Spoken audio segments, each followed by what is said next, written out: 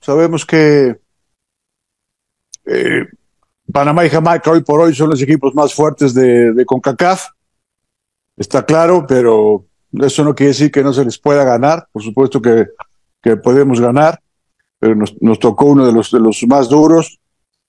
Eh, del bombo 3, la República Dominicana, creo que también era el más fuerte de ese bombo.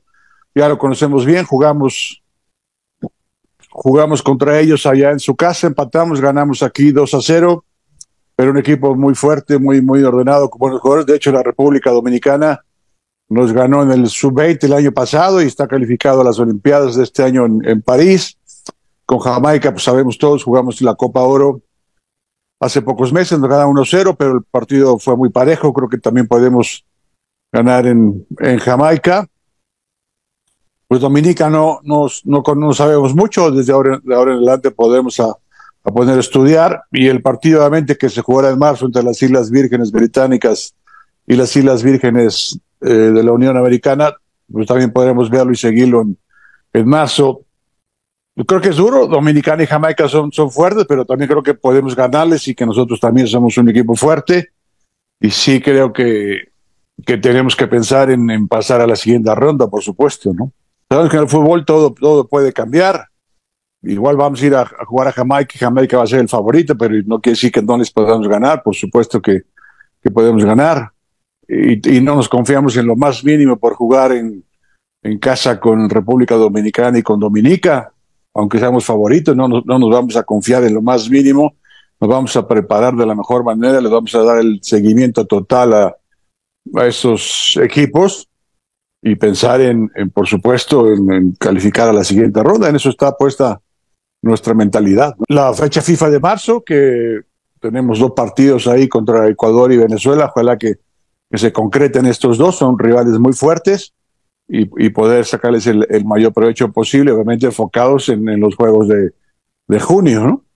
Creo que conocemos bien a nuestros jugadores, eso es una gran ventaja, llevamos dos años ahí en este proceso, ellos nos conocen también bien a nosotros y creo que ya a la hora de elegir ya nos cuesta menos trabajo y ellos a la hora de captar la idea de juego creo que también se la asimila mucho más rápido. ¿no? No, es, no, no, creo que no, no tiene mucha trascendencia, pero qué bueno, porque sabemos cómo nos va a apoyar nuestra gente en el, en el primer partido, en, en los primeros días de junio.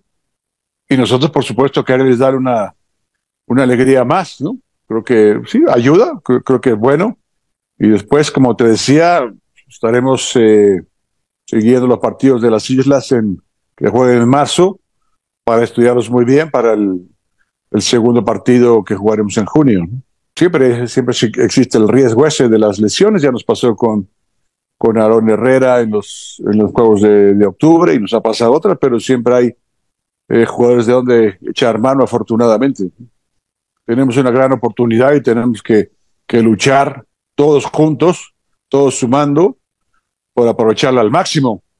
Todos sabemos por qué es y todos primero, pero tenemos que ir paso a paso y pensar en estos dos juegos de junio del 2024 y, y por supuesto pensar en ganar los dos juegos. ¿no? Sí, es verdad, hay juegos que son de preparación y que uno como técnico tiene que buscar eh, otras cosas, experimentar, darle oportunidad a, a otros jugadores, incluso probar otros esquemas. Cuando vengan los partidos oficiales, por supuesto, ahí donde tenemos que, que jugar al 100%, que no fallar, que, que poner, poner ya en juego lo que ya hemos practicado. Así que agradecer el apoyo que nos han dado siempre, tanto en Guatemala como en la Unión Americana, y esperamos ese apoyo también en el partido que tengamos en, en junio. Nosotros vamos a luchar eh, todos unidos y hasta el último aliento por aprovechar esta oportunidad de, de seguir avanzando y, y, pensar, obviamente, en, en clasificar a la Copa del Mundo.